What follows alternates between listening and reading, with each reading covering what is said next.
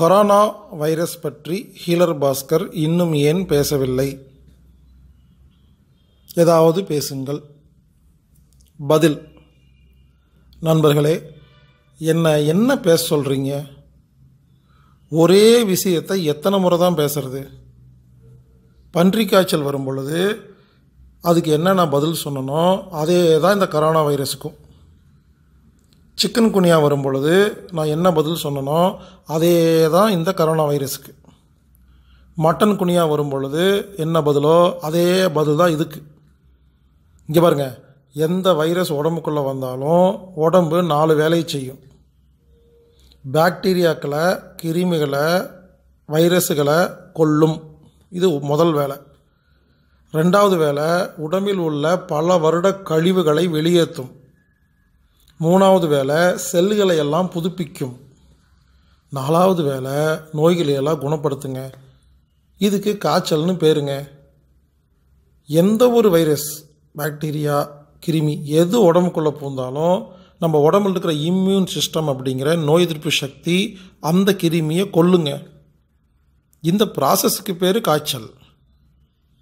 எந்த கிருமி உள்ள போனாலும் உடம்பு ஒரே மாதிரி தாங்க வேலை செய்யும்.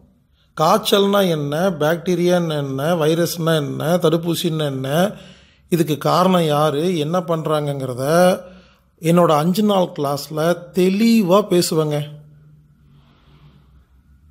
எப்போ யார் அந்த அஞ்சு நாள் கிளாஸை முடிக்கலையோ நேரில் வரலையோ வீடியோ பார்க்கலையோ இது போல் கேள்வி வந்துக்கிட்டே தான் இருக்கும் ஜென்ம ஜென்மமாக புரியவே புரியாது.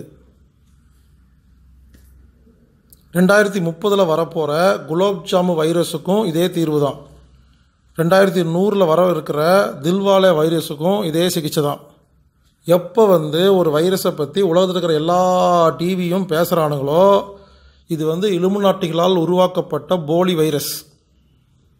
இப்படித்தான் பிளேக் காய்ச்சல் பன்றி காய்ச்சல் எலி காய்ச்சல் சிக்கன் குனியா மட்டன் குனியா டெங்குன்னு ஒவ்வொரு ரெண்டு வருஷத்துக்கு ஒருக்கா பேசுகிறாங்க ஒவ்வொரு முறையும் கேள்வி கேட்டே இருப்பீங்களா? நான் ஒவ்வொரு முறையும் பதில் சொல்லிட்டே இருக்கணுமா? ஒரு முறை புரிஞ்சா திரும்ப கேள்வி வரக்கூடாதுங்க. இங்கே பாருங்க என்னோட வேலை வந்து கேள்விக்கு பதில் சொல்கிறது இல்லை ஒரு கேள்விக்கு பதிலை புரிய வைக்கிறது. எப்போ புரியுதோ ஒரு சின்ன விஷயம் புரிஞ்சால் ஆயிரம் விஷயம் புரியணும். எனக்கு ஒரே கேள்விக்கு பதில் சொல்கிறதுக்கு எனக்கே கஷ்டமாக இருக்குதுங்க. அதனால் காய்ச்சல்னால் என்ன பாக்டீரியானா என்ன வைரஸ்னால் என்ன தடுப்பூசின்னா என்ன?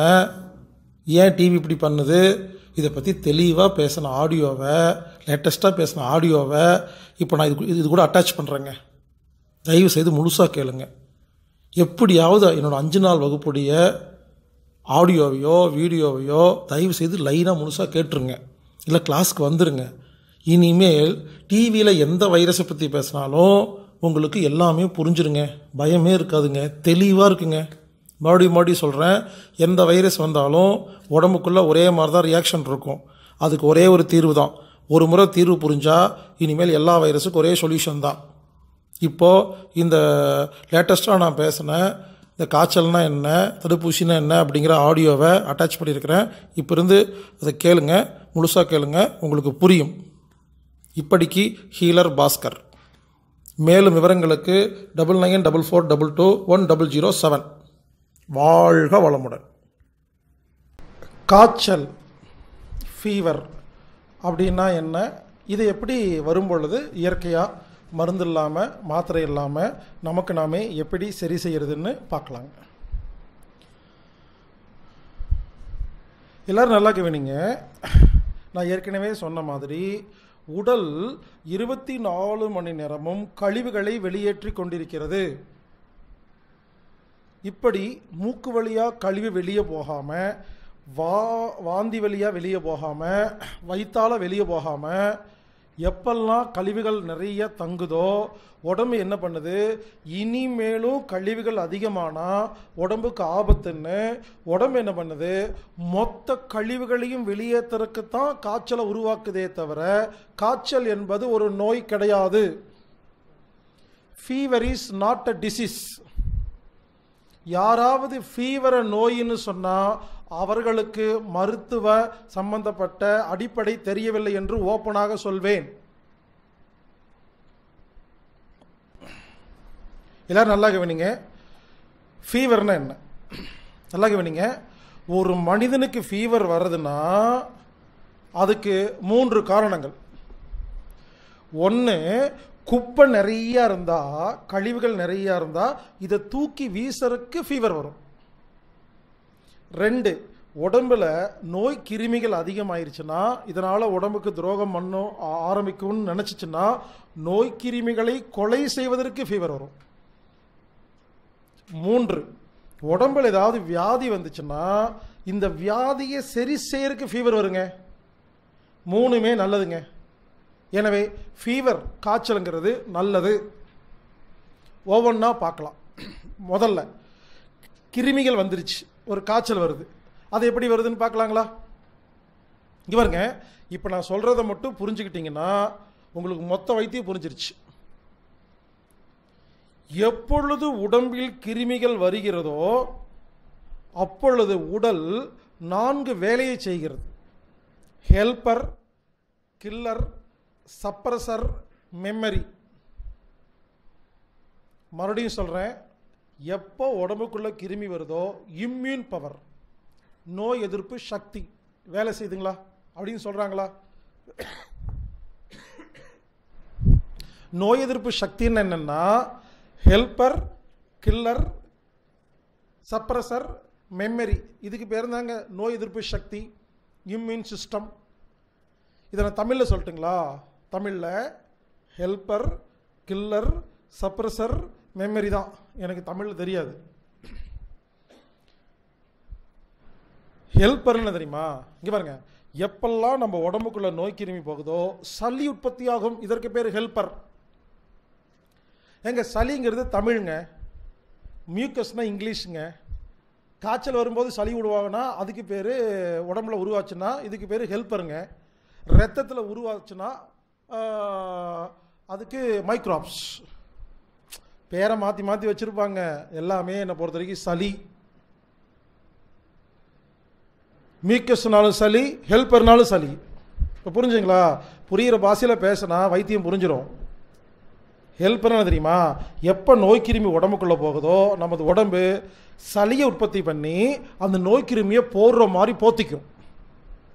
போத்திட்டு ஒன்று மூக்கு வழியாக வரும். இல்லை வாந்தி வெளியாக வரும் இல்லை மலம் வெளியாக வரும் எப்படியாவது வெளியே தள்ளிருங்க.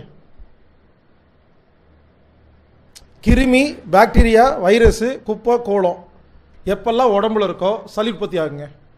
சளின்னா உடம்பு வெளியே தள்ளுங்க. தாங்க உடம்பு தெரிஞ்சது. இப்போ சொல்லுங்க நான் ஏன் தெரியுமா சளி வந்தால் சிந்துங்க தும்மல் வந்தால் சிந்துங்க மூக்கொழுகு நான் சிந்துங்க இருமல் வந்தால் இயற்கை வைத்தியம் பாருங்கன்னு ஏன் தெரியுமா கத்திட்டு இருந்தேன்? இது பண்ணிட்டீங்கன்னா அந்த நோய் கிருமி முதல் ஹெல்ப்பருங்கிற ப்ராசஸ்லேயே வெளியே வந்துடுமா அப்போது கில்லர் சப்ரஸர் மெமரி எல்லாம் தேவையில்லையா? இதாங்க இயற்கை வைத்தியம். இப்படி உடம்பில் சளி உற்பத்தியாகி அந்த கிருமியை வெளியே கொண்டு வரக்கு முடியல. ஏன்னா நீங்கள் என்ன பண்ணுறீங்க சளி பிடிச்ச உடனேயே சளிங்கிறத நோயின்னு நினச்சிட்டு மருந்து சாப்பிட்றீங்க. இல்லை மாத்திரை சாப்பிட்றீங்க. இல்லை இயற்கை வைத்தியங்கிற பேரில் தப்பாக பண்ணுறீங்க என்னமோ பண்ணுறீங்க ஆக மொத்தம் சளி உள்ளே வச்சுக்கிறதுக்கு புரிஞ்சுக்குங்க. சளியை உள்ளே வைக்கிறதுக்கு என்னென்னமெல்லாம் வைத்தியம் பார்த்தாலோ சளி மறுபடியும் உள்ளே போகுமா? இந்த நோய் கிருமி என்ன பண்ணும்? சளியை உடைச்சிட்டு வெளியே வருமா? இப்போ தாங்க அடுத்த ப்ராசஸ் கில்லர் சப்ரஸர் மெமரியெல்லாம் வேலை செய்யுங்க. ஹெல்ப்பர்லேயே ஒரு நோய் கிருமி செத்துருச்சுன்னா உடம்பு பொறுத்த வரைக்கும் நோய் குணமாயிருச்சுங்க. மீண்டும் சொல்கிறேன் நோய் கிருமி இயற்கையாக வெளியே வந்துருச்சுன்னா வேலை முடிஞ்சுது. இல்லை சளி வந்து வெளியே கொண்டு வந்துருச்சுன்னா வேலை முடிஞ்சுது. சளியை உடைச்சிட்டு வெளியே வந்தாலோ நீங்கள் மருந்து சாப்பிட்டு சளியை உள்ளே வச்சு அதுலேருந்து கிருமி வெளியே வந்தாலோ உடம்பு என்ன பண்ணும்? ஓஹோ ஹெல்ப்பர்னால அந்த கிருமியை கொலை பண்ண முடியலன்னு சொல்லி கில்லர் அப்படின்னு ஒரு மருந்து சப்ளை பண்ணுங்க. ஏங்க இப்போ நான் பேசிகிட்டு இருக்கிறது எம்பிபிஎஸ்ல முதல் வருஷம் சப்ஜெக்ட் அங்கே ரொம்ப நேரம் படிக்கிறதையும் கொஞ்சமாக படித்தா போதும். இப்படியெல்லாம் உட்காந்து யாரும் சொல்ல மாட்டாங்கங்க. எதுக்கு முதலே சொல்கிறேன்னா சில பேர் உட்காந்துட்டு நம்ம வந்தது மூட்டு வலிக்கு இதெல்லாம் தெரிஞ்சுக்கணும்னு நினைக்காதீங்க. எல்லாத்துக்கும் இது தெரிஞ்சாதான் புரியுங்க. நல்லா கவனிங்க இப்போ உடம்பெல்லாம் நோய்க்கிருமி இருக்குது அங்கங்கே இருக்குது கில்லர்னா என்ன? கில்லர்னா என்னென்னா நோய்க்கிருமியை கொலை பண்ணுற ஒரு புரோட்டீனுங்க. அதுக்கு தான் இங்கிலீஷில் கில்லர்னு பேருங்க. இங்கே பாருங்கள் உடம்பு கில்லர் தயார் பண்ணுங்க. உடம்புன்னா யாரு? தைம சுரப்பி கல்லீரல் மண்ணீரல் இரத்தத்தின் வெள்ளை அணுக்கள் லிவரு கிட்னி இவங்க எல்லாருமே நோய் எதிர்ப்பு சக்திங்க. எங்க புரிஞ்சுக்குங்க? நோய் எதிர்ப்பு சக்தின்னா ஒரே ஒரு உறுப்பு ஒரு இடத்துல இருந்து டொயின் வந்து பண்ணாது. எல்லா உறுப்பும் ஒன்று சேர்ந்து பண்ணும். அந்த கிருமியை கொலை பண்ணுறதுக்கு தைம சுரப்பியும் வேலை செய்யணும். கிட்னியும் வேலை செய்யணும். லிவரும் வேலை செய்யணும். ரத்தத்தின் வெள்ளை அணுக்கள் வேலை செய்யணும். சிவப்பு அணுக்கள் வேலை செய்யணும். கல்லீரல் வேலை செய்யணும். எல்லாமே ஒழுங்காக வேலை செஞ்சாதான் அந்த கிருமியை கொலை பண்ண முடியுங்க. இப்போ ஒரு கார் தயாரிக்கணும்னா ஒரு கார் கம்பெனியில் அந்த டயரும் நல்லா இருக்கணும். இன்ஜின் நல்லா இருக்கணும். பெயிண்ட் அடிச்சிருக்கணும். எல்லா வேலையும் முடித்து வந்தால் தானே கார் நல்லாயிருக்கும் ஒரே ஒரு டிபார்ட்மெண்ட் மட்டும் லீவு. என்னாகும்? கார் வரும் ஆனால் டயரே இருக்காது. கார் வரும் பெயிண்ட் இருக்காதுன்னா அந்த கார் ஓட்ட முடியுமா? அதாங்க கதை. நான் ஏன் இதெல்லாம் சொல்கிறேன் தெரியுமா? ஒரு வியாதியை குணப்படுத்துறதுக்கு ஒரு உறுப்பை சரி பண்ணால் பத்தாதுங்கிறதுக்கு தான் பேசிகிட்டு இருக்கிறேன். எல்லாத்துக்கும் எல்லாம் தான் சரி பண்ணணும். அப்போ நல்லா கேவீங்க கில்லர் என்ன தெரியுமா? நோய் கிருமியை கொலை பண்ணுற ஒரு மருந்து. அந்த மருந்துக்கு ஒரு ஃபார்முலா இருக்குமா இல்லையா? ஃபார்முலான்னா என்ன? ஏங்க இப்போது இங்கே வந்து நிறைய பேர் வந்திருக்கீங்க ஆண்கள் பெண்கள். சமையல் ரூம் இருக்குது இப்போ நான் சொல்கிறேன் எல்லாரும் சமையல் ரூமுக்கு போய் தனித்தனியாக சமைச்சு சாப்பிடுங்கன்னா எல்லோரும் சாப்பிட முடியுமா? சமையல் ரூமில் தக்காளி தேங்காய் வெந்தயம் பாசிப்பருப்பு எல்லாமே இருக்குது. உங்களுக்கு ஃபார்முலா தெரிஞ்சாதானே ரசம் வைக்க முடியும். ஃபார்முலாங்கிறது தெரியுமா? எந்தெந்த பொருளை எல்லாம் எவ்வளவு பயன்படுத்தணும் எதை முதல்ல போடணும் ரெண்டாவது போடணும் எதை நசுக்கணும் எதை தட்டணும் எதை வேக வைக்கணும் எதை பச்சையாக போடணும் கடைசியாக கொண்டு கொண்டு வந்து வைக்கிற இல்லையா? இதான் ஃபார்முலா. அப்போ மருந்துன்னா ஃபார்முலா இருக்குமா இல்லையா? ஏங்க நீங்கள் மருந்து வாங்குறீங்கல்ல அதில் ஃபார்முலா இருக்கா இல்லையா? ஃபார்முலா இருக்காது. என்ன பொருள் இருக்குன்னு இருக்கும். ஃபார்முலா இருக்காது. இந்த பொருள் எல்லாம் இருக்குன்னு இருக்கும். ஆனால் எப்படி தயாரிச்சாங்கன்னு சொல்ல மாட்டாங்க. கில்லருங்கிறது ஒரு மருந்துங்க. அது வந்து வெளிநாட்டு கம்பெனிலேருந்து வரதில்ல உடல் கம்பெனியில் வருது நல்லா கவனிங்க இம்முன்னு என்ன? உடம்பு மருந்து தயாரிக்கிற பேர் இம்யூனுங்க. அப்போது எப்போ வந்து சளியை உடைச்சிட்டு கிருமி வெளியே வருதோ உடம்பு என்ன தெரியுமா பண்ணும்? இந்த பிட்டியூரி செரப்பி எல்லாம் சேர்ந்து என்ன பண்ணுன்னா உடனே என்ன பண்ணும்? கில்லருக்கு ஏற்பாடு பண்ணிடும் கில்லர்னா என்ன? அந்த கிருமியை கொலை பண்ணுற மருந்துன்னு பார்த்தோமா? அதுக்கு ஒரு ஃபார்முலா வேணுமா? இந்த ஃபார்முலாவை நம்ம உடம்புல இருக்க லிவர் கிட்னி இருக்கு இல்லையா? சொந்தமாக யோசிச்சு கண்டுபிடிக்கும். ஏங்க சும்மா ஏற்கனவே ரெக்க சொந்தமாக யோசிக்குங்க. ஒன்று தெரியுங்களா? இப்போ ஒரு கிருமி உள்ளே போகுதுங்க. இப்போ.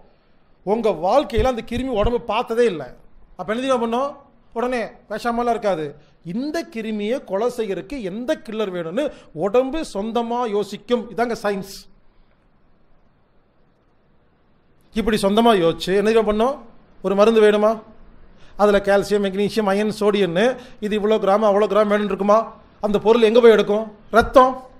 ரத்தத்தில் கால்சியம் அயன் சோடியம் மெக்னீசியம் இருக்கா? அப்போ இந்த உடம்பு என்ன பண்ணும்? முதல்ல ஃபார்முலா எழுதும். அப்புறம் அந்த ஃபார்முலாக்கு பொருள் எல்லாம் வேணுமா? அந்த ஃபார்முலாவுக்கு பொருள் வேணுமா? அதை பிளட்ல போய் எடுத்துட்டு வந்து இத்தனை உறுப்புகள் சேர்ந்து செஞ்சா அதுக்கு பேரு கில்லர் இதுல என்ன புரியுது? உடம்புக்கு அறிவு இருக்கு. இங்கேயே முடிஞ்சதுங்க சப்ஜெக்ட் ஏங்க நான் ஒன்றும் புதுசாக பேசலைங்க. நான் வந்து ஏற்கனவே இருக்கிற சயின்ஸ் தான் பேசுகிறேன் இது நான் சொந்தமாக கற்பனை பண்ணி பேசல.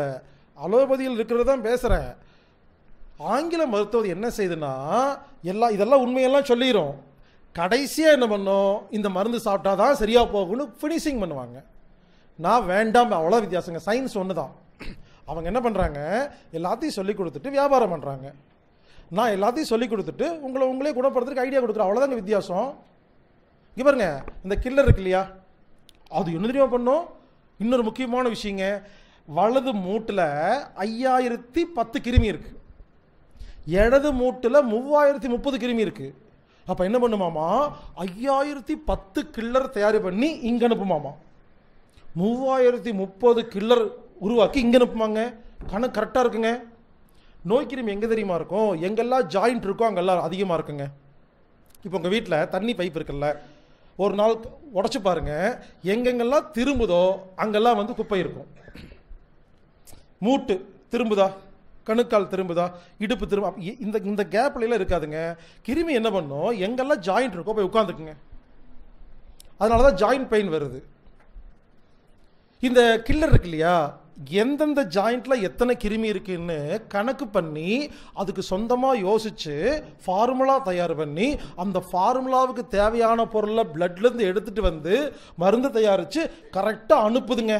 இதாங்க சயின்ஸு அப்போ சொல்லுங்க உடம்புக்கு எவ்வளவு அறிவு இருக்கு? அந்த கிருமியை கொலை பண்ணிடுங்க ரெண்டாவது வேலை முடிஞ்சுதா? நல்லா கவனிங்க. அந்த கில்லர் அந்த கிருமியை கொலை பண்ணி முடிக்குதில்ல முடித்த உடனே அந்த கில்லர் சாகாது. என்ன பண்ணுமாமா? மூட்டுருக்கு இல்லையா? மூட்டை உடைக்க ஆரம்பிச்சிருமாமா. கில்லர் வந்த வேலை முடிஞ்சுது. நோய் கிருமி செத்துருச்சு. இப்போ அதை வெளியே போகணுமா இல்லையா? அது வெளியே போக முடியாதா? அப்போ உடம்பு என்ன பண்ணுமாமா மூணாவது வேலையாக சப்ரசர் அப்படின்னு ஒரு மருந்து தயாரிக்குமா அப்படின்னு என்ன?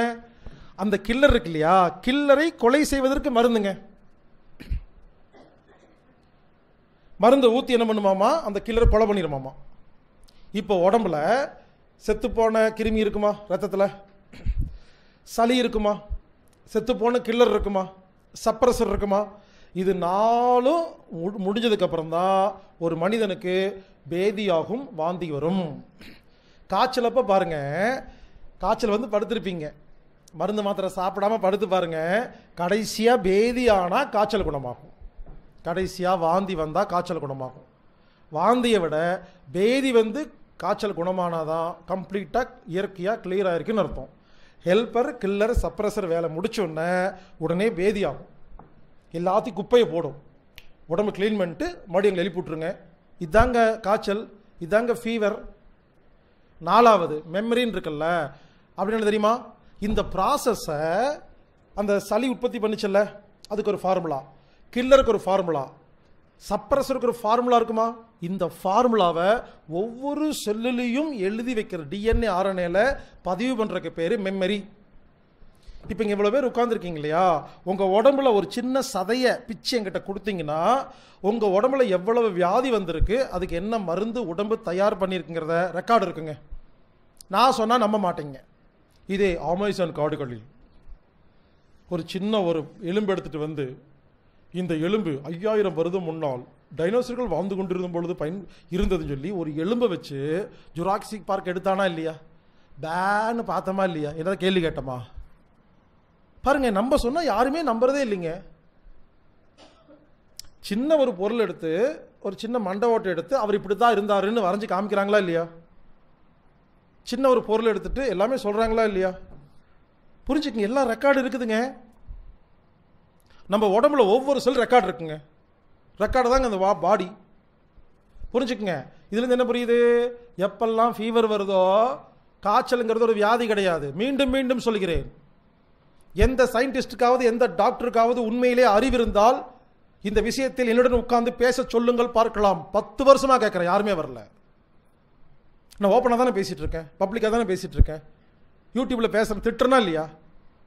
திட்டுற திட்டுக்கு யாருக்காவது கோவம் வந்தால் உடனே அவங்க வந்து ஈழர் பாஸ்கர் சொல்கிறது தவறு. காய்ச்சல் ஒன்றும் வைத்தியமெல்லாம் கிடையாதுன்னு இங்கே அட்ரஸ் இருக்குது ஃபோன் நம்பர் இருக்குது வந்து பேச வேண்டியதானே யோசிச்சு பாருங்க யூடியூப்ல கமெண்ட் கொடுப்பாங்க ஃபேஸ்புக்கில் திட்டுவாங்க. யாருக்கு தில்லில் இல்லை நேரில் வந்து திட்டுறதுக்கு? இது வரைக்கும் ஒருத்தன் கூட வரல. ஃபேஸ்புக்கில் யூடியூப்பில் திட்டிட்டு ஓடி போயிடுவாங்க அவங்க யாருன்னே தெரியாது. வர சொல்லுங்க பார்க்கலாம். என்ன அவ்வளோ ரிசர்ச் முடிச்சிருக்கிறேங்க. நான் ஒன்றும் சண்டை போடுறதுக்காக திட்டல. புரிஞ்சுக்கங்க. நீங்கள் புரிஞ்சுக்கிறதுக்காக டயலாக் டெலிவரி பண்ணுற அப்படி. மீண்டும் சொல்கிறேங்க காய்ச்சல் நோய் கிடையாதுங்க. அது நோய்னு சொன்னால் வைத்தியம் தெரிலன்னு அர்த்தங்க. ஹெல்பர் கில்லர் சப்ரஸர் மெமரி நாலு வேலை நடந்துச்சுன்னா இது வேறு ஃபீவருங்க அப்படிதாங்க இருக்கும். டயர்டாக தாங்க இருக்கும். டெம்பரேச்சர் அதிகமாகுங்க. படு படுக்கணும்னு தோணுங்க. டயர்டாக இருக்குங்க. ஒன்றும் பயப்பட வேண்டியதில்லை. அதெல்லாம் செஞ்சால் தான் இந்த நாலு வேலை நடக்கும். உங்கள் வீடு ஒழுங்காக இருக்குது. என்னைக்காவது ஒரு நாள் பெயிண்ட் அடிக்கிறீங்க சுண்ணாம்பு பூசுறீங்க ஒட்டை அடிக்கிறீங்க. அப்போ வீடு களைஞ்சு போய் கிடக்குமா இல்லையா? குப்பையாக இருக்குமா இல்லையா? அங்கங்கே பெயிண்ட் ஊற்றி கிடக்குமா இல்லையா? க்ளீன் பண்ணணும்னா அப்படி வேலை செஞ்சு தானே ஆகணும். எல்லாம் ஒழுங்காக இருக்கணும் ஆனால் பெயிண்ட் அடிக்க முடியுமா? யோசிச்சு பாருங்க அந்த மாதிரி தானே? உடம்பு பெயிண்ட் அடிக்குது சுத்தம் பண்ணுது க்ளீன் பண்ணுது ஒட்டை அடிக்குதுன்னா நான்லாம் ரெஸ்ட் எடுத்து தான் ஆகணும். அப்படி தான் இருக்கும். நீங்கள் நல்லா இருந்த மறுபடியும் ஆஃபீஸ் ஓடி போயிடுவீங்க ஆனால் டயர்டு பண்ணுது படுக்க சொல்லுது. நல்லது தான் டெம்பரேச்சர் அதிகமாகுது. அதை பற்றியெல்லாம் பார்க்கலாம். இந்த நேரத்தில் ஒரு முக்கியமான விஷயம் சொல்கிறேங்க தடுப்பூசின்னா என்ன? அதில் என்ன இருக்கும்? இது தெரிஞ்சால் தான் காய்ச்சலை பற்றி பேச முடியும். தடுப்பூசி. நீங்களே கேள்விப்பட்டிருக்கீங்க. அம்மை தடுப்பூசி காலரா தடுப்பூசி போலியோ சொட்டு மருந்து. ஒரு விஷயம் தெரியுங்களா? தடுப்பூசியில் நோய்க்கிருமியை கொலை செய்வதற்கு மருந்து இருக்கவே இருக்காது. தடுப்பூசியில் மூணு வகை இருக்குங்க. Dead semi dead live. தமிழில் உயிரோட. பாதி கொலை பண்ணது செத்து போனது. அதாவது இந்த போலியோ சொட்டு மருந்துன்னு ஊற்றுறாங்க இல்லையா? அதில் போலியோ நோய்க்கிருமி கொலை பண்ணுறதுக்கு மருந்து இல்லை. போலியோ நோய்க்கிருமி உயிரோடு லைவ் வேக்சின் அம்மை தடுப்பூசி போடுறாங்க இல்லையா? அம்மை நோய்க்கிருமி சாகடிக்கிறதுக்கு ஒரு மருந்து மாத்திரம் இல்லைங்க. எல்லாரும் தப்பாக புரிஞ்சிருக்கீங்க. தடுப்பூசினாவே அது மருந்துன்னு. கிடையாது. தடுப்பூசினா அது வந்து கிருமி. அம்மை நோய்க்கிருமியை பாதி கொலை பண்ணி குத்துயிரும் கொலையுயிருமா குழந்தையோட உடம்புல ஏத்தறக்கு பேர் தான் அம்மை தடுப்பூசி. இப்போ சொல்லுங்க கிருமி எடுத்து உள்ளே விடுவாங்களாமா தடுப்பூசின்னு சொல்லுவாங்களாமா ஆனால் கிருமிகள் உங்களை பாதிக்கிறது எங்கிட்ட வாங்கன்னு சொல்லுவாங்களாம். முரண்பாடாக இருக்கா இல்லையா? கிருமி பற்றி எவ்வளோ பேசி பேசுகிறாங்க தரில் கிருமி இருக்கு கையில் கிருமி இருக்கு கழுவு உன் சோப் பண்ண சோம்பேறியான்னு எவ்வளோ திட்டு திட்டுறானுங்க டிவியில் இதில் வேறு கக்கூஸ்குள்ளேயே வந்துட்டு வந்துட்டு உங்கள் கக்கூஸில் கிருமி இருக்குங்கிறான் அது இருக்குங்கிறான் பயமாக இருக்குது கக்கூசில் உட்காரக்கணும் கதை உடச்சிட்டு வந்துருவானோ அப்படிங்கிற மாதிரியே இருக்குது கேமராவோட உள்ள வந்துடும் பயமாகவே இருக்குது எப்பவுமே. யோசிச்சு பாருங்க கிருமி கிருமின்னு பேசுகிறாங்களா இல்லையா? கிருமி தப்பு தப்புன்னு சொல்கிறாங்களா இல்லையா? தடுப்பூசியில் ஏன் கிருமியை போடுற? கேட்டால் யாரும் பதில் சொல்ல மாட்டேங்கிறாங்க. எழுதிமா சொல்கிறாங்க கேட்டா நல்லா இங்கே தான் மாட்டிக்கிறாங்க. தடுப்பூசியில் கிருமி தான் இருக்குமாமா முதல்ல சொல்ல மாட்டாங்க. இந்த மாதிரி விவரமாக கேட்டால் சொல்லுவாங்க. அப்புறம் அடுத்த விளக்கம். நீ உண்மையிலேயே கரெக்டாக இருந்தால் முதல்லயே சொல்ல வேண்டியதானே தடுப்பூசி போட்டுட்டீங்களா? போட்டுட்டீங்களான்னு எல்லாம் கேட்குறாங்களா இல்லையா டிவியில் பேப்பரில் வந்து? ஏன்? அதில் சொன்னாங்களா அப்படி ஒரு வேளை நீங்கள் தடுப்பூசியில் நோய் கிருமி இருக்குன்னு புரிஞ்சுக்கிட்டு போய் கேட்டிங்கன்னா அதுக்கப்புறம் தான் பொறுமையாக சொல்லுவாங்க. ஆமாம் ஏன்னு கேட்டு பாருங்க அப்போ இன்னொரு விளக்கம் சொல்லுவாங்க. நாங்கள் தடுப்பூசிங்கிற பேரில் நோய் கிருமியை உள்ளே போடுறோம். இப்போ தான் சொல்லுவாங்க. உங்கள் குழந்தையோட உடம்பு ஹெல்பர் கில்லர் சப்ரஸர் மெமரி வேலை செய்யும். செஞ்சதுன்னா நாங்கள் ஒரு கிருமியை போடுறோமில்ல அந்த குழந்தையோட உடம்பு ஹெல்பர் கில்லர் சப்ரஸர் மெமரின்னு வேலை செஞ்சு எல்லா செல்லுக்குள்ளேயும் இந்த நோய் கிருமி எப்படி குணப்படுத்துன்னு ரெக்கார்டு கிரியேட் பண்ணுமாமா. நம்ம கேட்டதுக்கு அப்புறம் தான் சொல்லுவாங்க. நான் இன்னொரு கேள்வி கேட்குறேன் அப்போ உடம்புக்கு அறிவு இருக்கா இல்லையா? தடுப்பூசிங்கிற பேரில் ஒரு குழந்தைக்கு நோய்க்கிருமி போடும்போது தானாக குணப்படுத்தும் பொழுது நான் என்ன கேட்குறேன் ஏன் பிறந்த குழந்தைக்கு போடுற என்னைக்காவது ஒரு நாள் நோய்க்கிருமி வரும்போது அதுவா அது செஞ்சுக்குமா இல்லையா? நீ ஏன் முதல் நாளே சேர இதான் என் கேள்வி. அவங்க என்ன சொல்கிறாங்க நாங்கள் முதல்ல செஞ்சுட்டா அப்புறமா வராது. இதை நான் ஒத்துக்கொள்ளவே மாட்டேன். முதல் நாள் தடுப்பூசி ஒரு குழந்தைக்கு போடவே கூடாதுங்க. துரோகங்க. இன்னைக்கு தாங்க பிறந்திருக்கு. அறிவில்லை. பிறந்த குழந்தைக்கு தடுப்பூசி போட்டால் என்னாகும் தெரியுமா? இன்னைக்கு தாங்க பிறந்திருக்கு. இன்னும் சாப்பிடலைங்க பால் குடிக்கலைங்க தண்ணி குடிக்கலைங்க யூரின் போகலைங்க மலம் போகலைங்க. கொண்டு போய் எடுத்தோடனே கிருமிகளை போட்டுவிட்டோம்னா உடம்பு என்ன பண்ணும்? உடனே ஹெல்ப்பர் கில்லர் சப்ரஸன் வேலை பிஸி ஆயிருமா இல்லையா? என்னைக்கு இருந்தாலும் பண்ண போதா இல்லையா? பத்து வருஷம் கழிச்சு அம்மைக்கிரீம் வந்தால் அதை தானே பண்ண போகுது. ஏன் இன்னைக்கே போடுற? புரியலையா அவங்களுக்கு ஏன் போடுறாங்கன்னு? அவங்க கூட்டு போய் சொல்கிறாங்க கிருமிகளை போட்டு காப்பாற்றுறேன்னு அப்படியெல்லாம் இல்லை. நல்லா கேவீங்க தாய்ப்பாலில் தாய்ப்பாலில் அந்த அம்மா எத்தனை கிருமியெல்லாம் கொன்னாங்களோ அந்த அறிவு தாய்ப்பால் மூலியமாக குழந்தைக்கு போகிறது. அந்த அம்மா எத்தனை கிருமி கொண்டாங்களோ அந்த ஃபார்முலா அவங்க பாட்டி பாட்டி பாட்டின்னு பரம்பரை பரம்பரையாக இப்போ நீங்கள் இருக்கீங்கன்னு வச்சுங்களேன் உங்கள் உடம்பு உங்கள் பரம்பரை பரம்பரையாக எத்தனை கிருமியெல்லாம் கொலை பண்ணியிருக்கோ? ஹெல்பர் கில்லர் சப்ரஸர் மெமரி இருக்கு இல்லையா? அந்த ஃபார்முலா தாய்ப்பால் வழியாக தான் இன்னொரு ஒரு குழந்தைக்கு போகுது. அந்த அம்மாவோட குழந்தைக்கு. இதுக்கு பேர் டிரான்ஸ்ஃபர் ஃபேக்டர் நீங்கள் சர்ச் பண்ணி பாருங்கள் இது வரைக்கும் டிரான்ஸ்ஃபர் ஃபேக்டருங்கிற வார்த்தை யாருமே பயன்படுத்திக்க மாட்டாங்க. ஏன்னா இதை புரிஞ்சால் உங்களுக்கு எல்லாம் புரிஞ்சிடும் டிஎஃப்னு சொல்லுவாங்க. ட்ரான்ஸ்ஃபர் ஃபேக்டர் அப்படின்னு என்ன? அம்மாவுடைய அறிவு குழந்தைக்கு தாய்ப்பால் வழியாக போகுது. இதை கண்டுபிடிச்சி என்ன பண்ணிட்டாங்க? பிறந்த குழந்தைக்கு யாராவது ஆறு மாதமோ மூணு மாதமோ தாய்ப்பால் கொடுத்துட்டிங்கன்னா அந்த குழந்தைக்கு பரம்பரை பரம்பரையாக எல்லா ஃபார்முலாவும் உள்ளே போச்சுன்னா அந்த குழந்தை ஆரோக்கியம் வளர்ந்துருங்க. இதை கண்டுபிடிச்ச அலோபதி மருத்துவம் என்ற அராஜக மருத்துவம் என்ன பண்ணியிருக்கு? ஒரு மருந்து தயார் பண்ணி உங்ககிட்ட பொய்ய சொல்லி முதல் நாளில் குழந்தை பெத்து இன்னும் குழந்தைய அம்மாவே கண்ணில் பார்க்கறதுக்கு முன்னாலேயே நம்மளை கேட்காமல் அராஜக முறையில் நான் வேண்டாம் என்று சொன்னாலும் முடியாது மரியாதையா போடு இல்லைன்னா உங்களுக்கு ஆதார் கார்டு தர மாட்டேன் ரேஷன் கார்டு தர மாட்டேன் சோறு போட மாட்டேன்னு எவ்வளவு பெரிய அயோக்கியத்தனம் செய்து அந்த குழந்தைக்கு தடுப்பூசி போடுகிறார்கள். இதை நான் வன்மையாக கண்டிக்கிறேன். என்னாகும்? புரியல உங்களுக்கு? ஏன் தெரியுமா பிறந்த குழந்தைங்க தடுப்பூசி போடுறாங்க?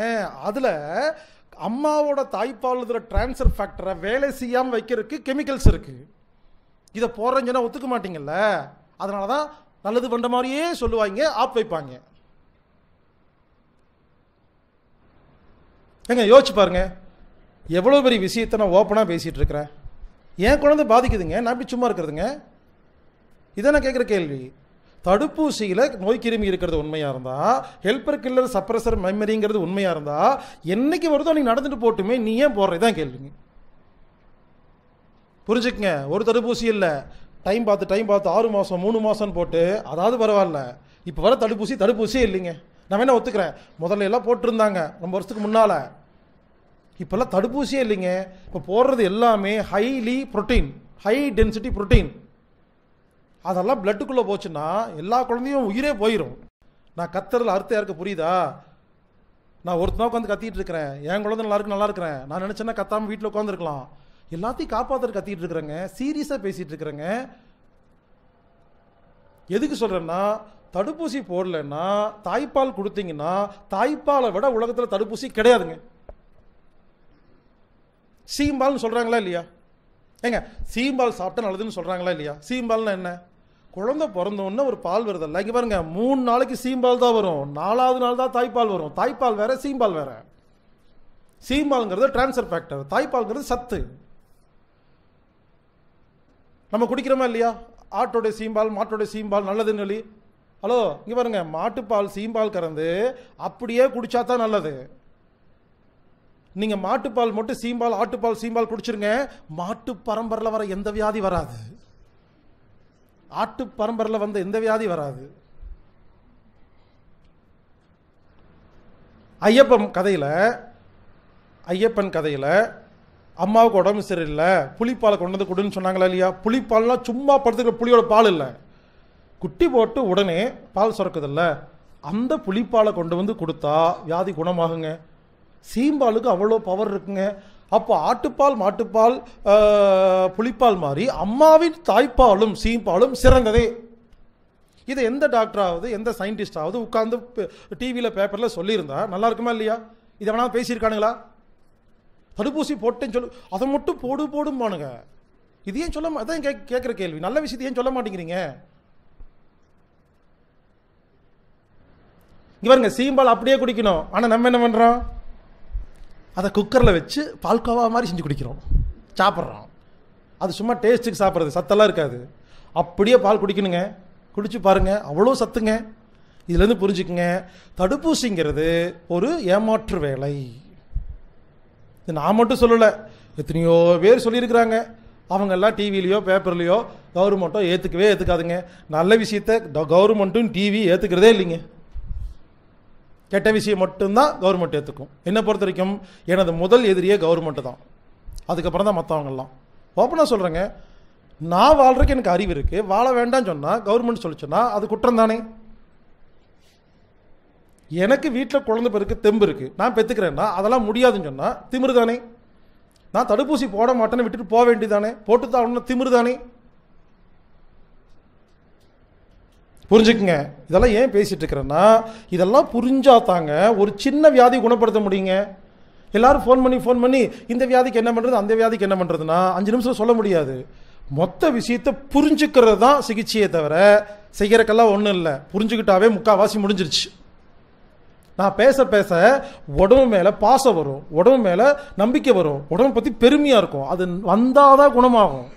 நமக்கெல்லாம் ஏன் குணமாக மாட்டேங்குதுன்னா உடம்பு மேலே பயமாக இருக்குது உடம்பு பயமுறுத்தி விட்டாங்க. அதனால் என்னை பொறுத்த வரைக்கும் தடுப்பூசி போடக்கூடாதுங்க. இங்கே மட்டும் இல்லை பிரான்ஸ் ஜெர்மனி எல்லா நாட்டிலையும் தடுப்பூசி போடக்கூடாதுன்னு பெரிய இயக்கங்கள் எல்லாம் போராடி தான் இருக்கிறாங்க. கவர்மெண்ட் கேட்க மாட்டேங்குது. மரியாதையாக போடலைன்னா ஆதார் கார்டு தர மாட்டேங்குது. இது எப்படி தெரியும்? இது சண்டை. இது ஒரு சாதாரண சண்டே இல்லைங்க.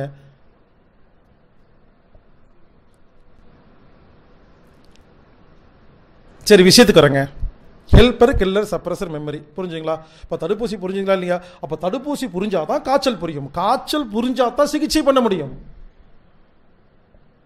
விஷயத்துக்கு வரேன் இப்போ காய்ச்சல் வந்துருச்சு. எல்லாத கேள்வி சரி தம்பி காய்ச்சல் வந்துருச்சு என்ன செய்யலாம்? கிளைமேக்ஸ் காய்ச்சல் வந்தால் என்ன செய்யலாம்னு ஒவ்வொன்றா சொல்கிறேன் கேளுங்க. காய்ச்சல் வந்தால் என்ன ஆகுது? உடம்பு டயர்டாக இருக்குது அப்போ என்ன அர்த்தம்? உடம்பு உங்ககிட்ட பேசுது. ஏய் மரியாதையாக பத்து நாள் படுங்குது. டெய்லி ஒழுங்காக தூங்கி ஒழுங்காக சாப்பிட்டு ஒழுங்காக இருக்கிறவங்களுக்கு காய்ச்சல்லாம் வராது. கடந்த பத்து வருஷம் ஆச்சு. பத்து வருஷமாக நான் ஒவ்வொரு நாளும் ஒவ்வொரு ஊருக்கும் ப்ரோக்ராம் போயிட்டுருக்கேன். எந்த ப்ரோக்ராம் வந்து எனக்கு காய்ச்சல் வந்திருக்கேன் கேன்சல் பண்ணியிருக்கிறேன்னா பத்து வருஷம் நைட்டு ஃபுல்லாக ட்ராவல் பகல் ஃபுல்லாக பேசுவேன். நேற்று நைட்டு கார் எடுத்தேன். காலையில் தான் இங்கே வந்தேன்.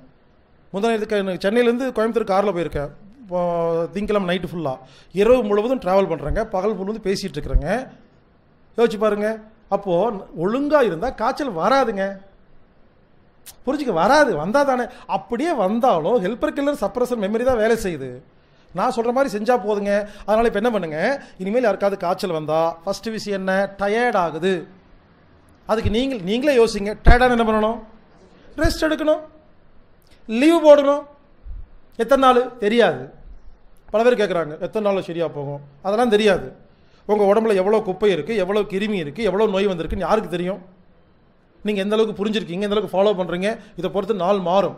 புரிஞ்சுக்குங்க. இனிமேல் யாருக்காவது காய்ச்சல் வந்தால் ஒன்று குப்பை அதிகமாயிருச்சு வெளியே தள்ளுறக்கு வருது.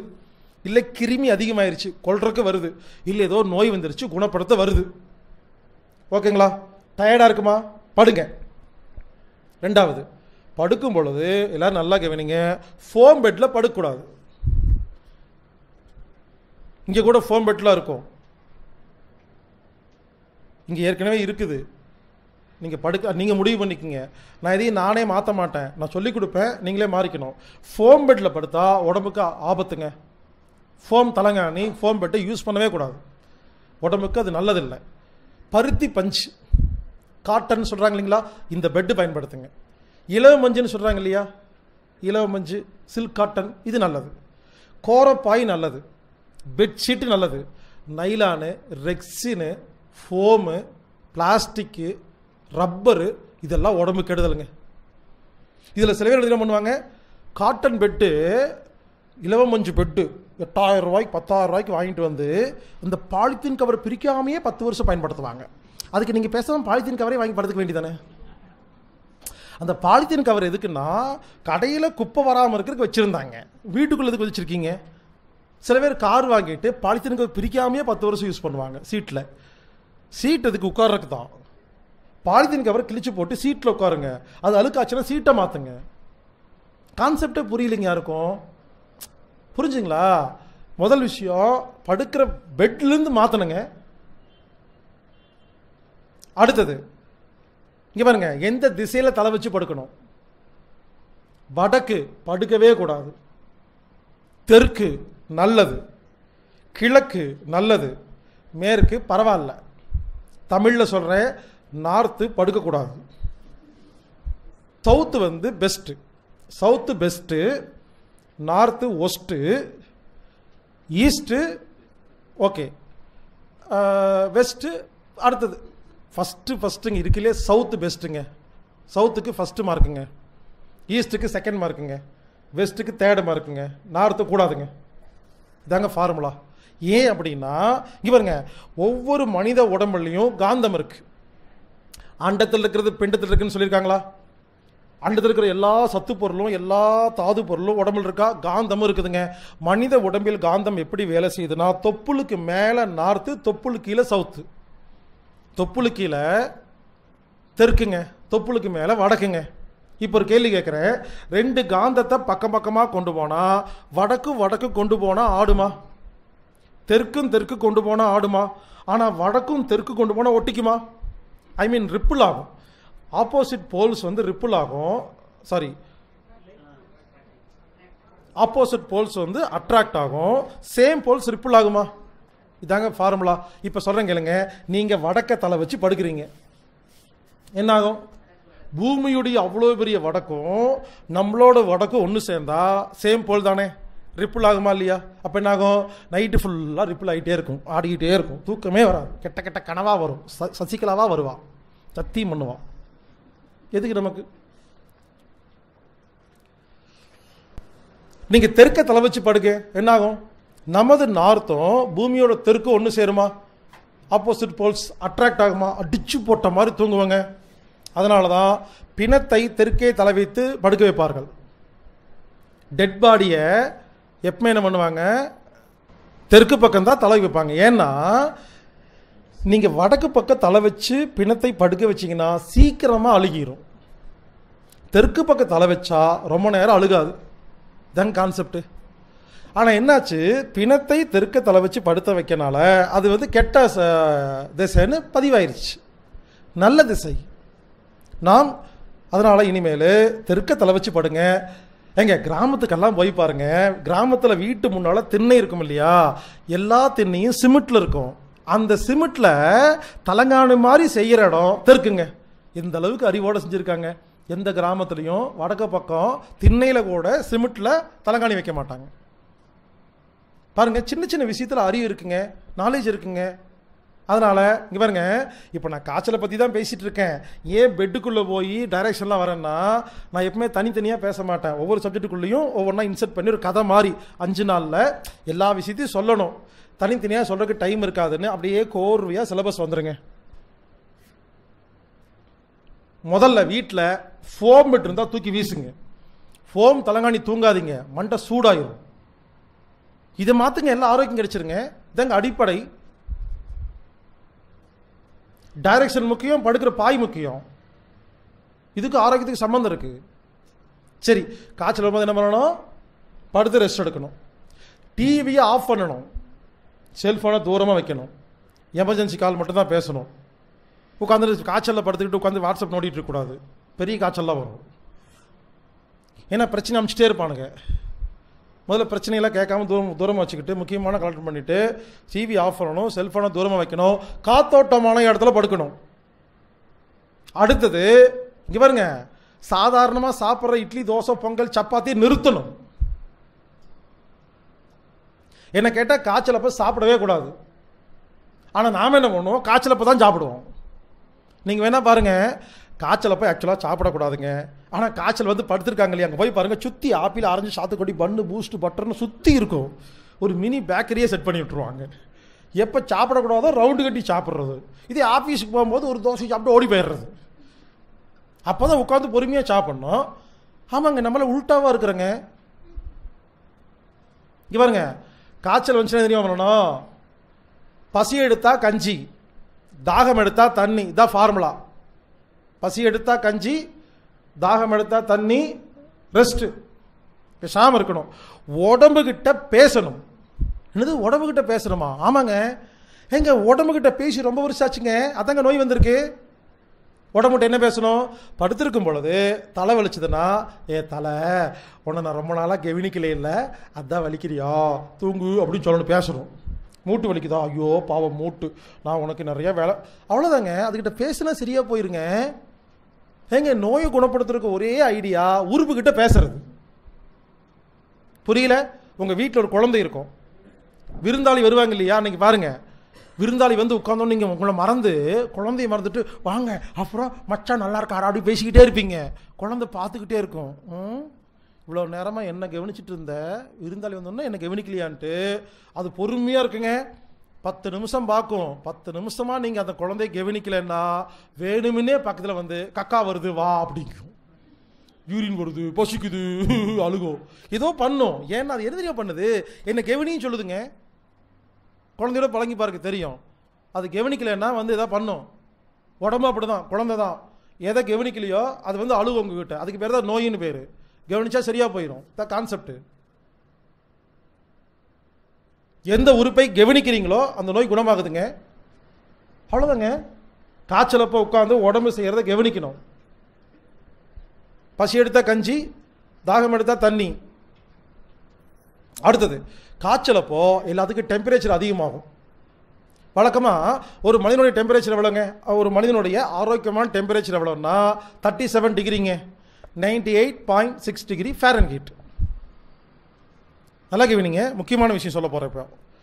நீங்கள் ஒன்று பண்ணுங்கள் சவுதி அரேபியா போயிருங்க. பாலைவனத்து மேலே ஒட்டகத்துக்கு மேலே போகிறீங்க டெம்பரேச்சர் எவ்வளோ இருக்குது?